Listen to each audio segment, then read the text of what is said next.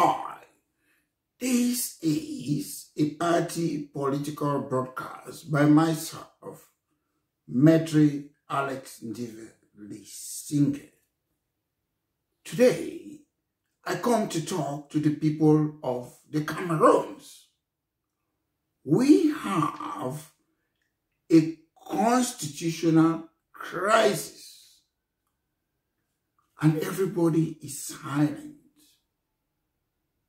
The opposition political party in the Cameroon, they are silent.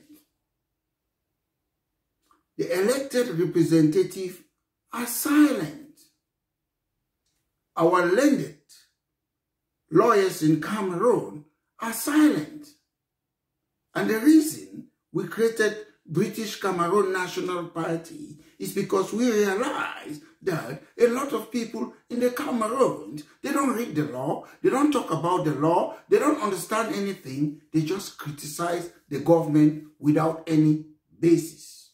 So today, we have come to talk about the constitutional crisis that we are facing in the Cameroons.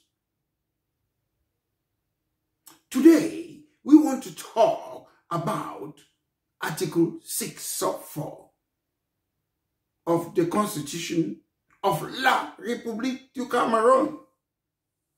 Article 6 stipulates that where the office of the President of the Republic becomes vacant as a result of death, resignation, or permanent incapacity. I end there. I want to talk about permanent incapacity. Permanent incapacity means that ill health. Today, the 20th of May, we have seen enough evidence, evidence rather, that Mr. Biya is incapacitated. The CRTV, a public-owned television sponsored by taxpayer, was asked to stage manage 20th May celebration. Mr. Biya have been hijacked.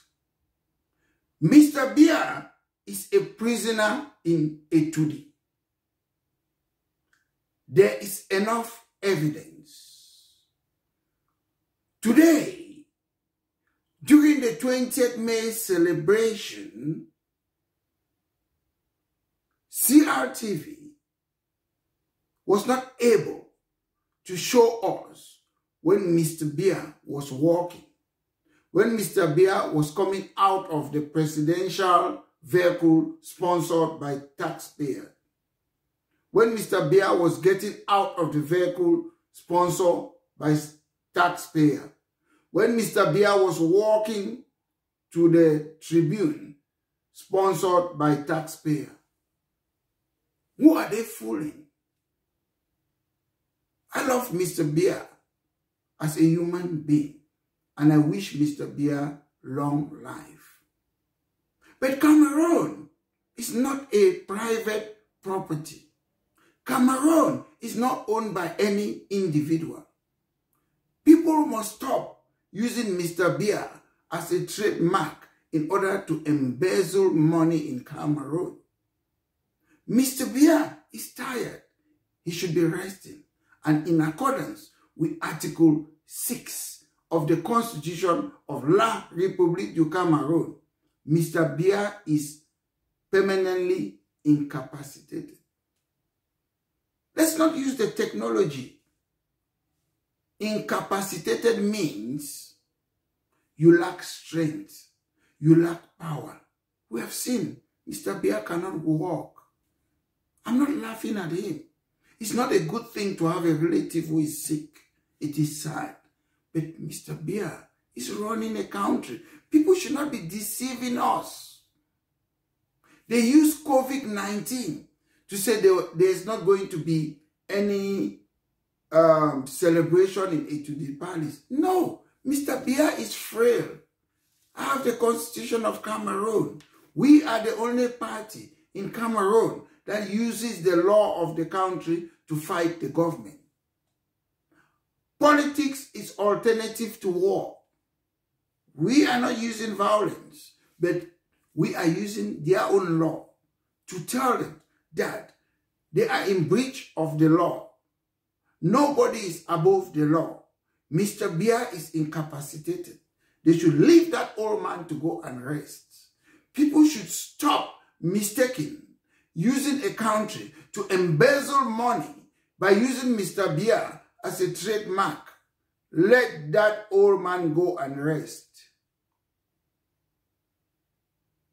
A lot of people knows, know that, but they are silent.